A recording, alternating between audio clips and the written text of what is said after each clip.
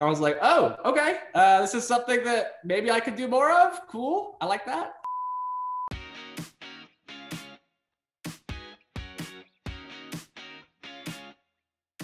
Oh, great question. Thank you. It's so interesting. I feel like everything always builds to new things. Everything in Make-Out Monday was kind of like learning how to perform, learning how to sing and play bass, and kind of being a part of an actual rock band. And then that just made doing Sunset Curve and Julie the Phantoms so much easier because it was like, oh, I've already done this. Like I know exactly what this is.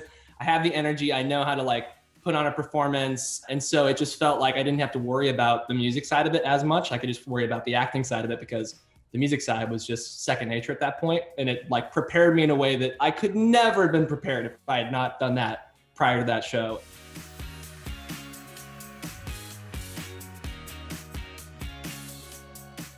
With Phantoms, it kind of gave me that confidence to start doing more songwriting by myself, start, you know, thinking, oh, I guess I can do kind of music in some places, maybe by myself. You know, I think before that, I really wasn't at a place where I felt confident to go out alone, solo, and, and do something. Um, and through that songwriting process for the show, and uh, we ended up doing like kind of a songwriting band camp after season one, you know, just in between, kind of for fun to stretch out our creative muscles. Through that, it really gave me the confidence as a a songwriter. And so I just kind of started writing. And the first thing I actually did was a song that I released for my wife on her birthday that was all about her. And I did that as kind of like a fun birthday present for her.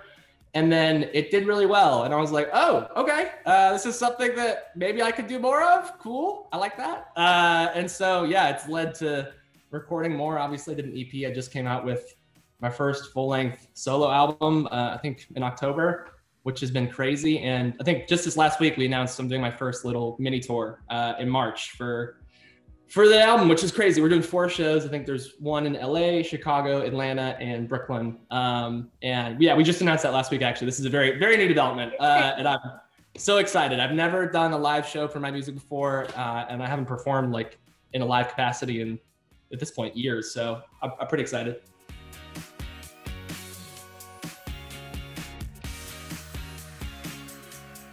Great question. Uh, we were most of the way through recording uh, that album. Actually, I think that was like the last song that I recorded for the whole album. It ended up being, I think, in my opinion, one of the best, one of my favorites. I was like, oh, we've done like a lot of other genres. We haven't really done like kind of an '80s uh, song with a guitar solo and, all.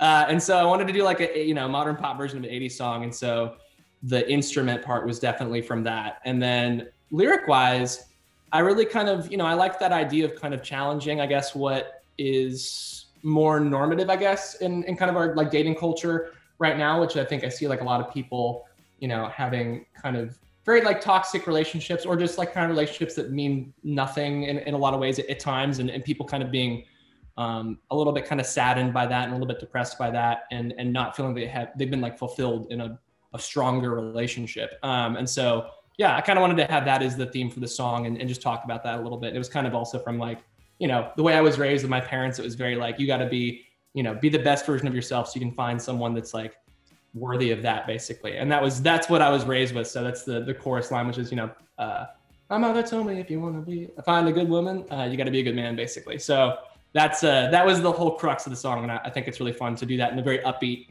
um, fun song that sounds like it would be played in like a club or something, but the, the lyrics of it are kind of the opposite, which is fun.